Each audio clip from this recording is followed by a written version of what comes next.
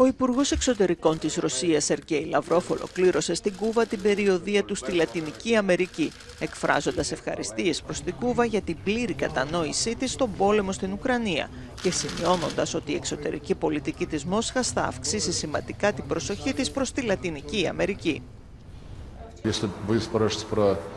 Αν ρωτάτε για τις ρωσο-αμερικανικές σχέσεις, δεν έχουμε ιδιαίτερες σχέσεις αυτή τη στιγμή. Συζητάμε μόνο από ανάγκη για τα προβλήματα που προκύπτουν στις πρεσβείες μας, αλλά και σε σχέση με το γεγονός ότι οι Αμερικανοί προσπαθούν να καταχραστούν τη θέση τους, κυρίως ως χώρα φιλοξενίας των Ηνωμένων Εθνών. Ο Σεργέη Λαυρόφ δήλωσε ότι υπάρχει αλληλοκατανόηση μεταξύ Ρωσίας και Κούβας, δύο χώρες που υπόκειται σε αμερικανικές κυρώσεις.